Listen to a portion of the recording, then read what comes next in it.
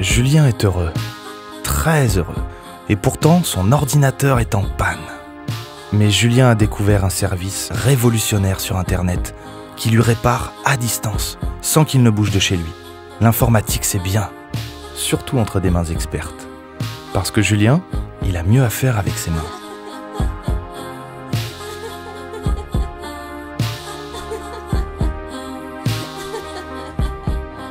Lifter s'occupe de tout. Vous avez tellement mieux à faire.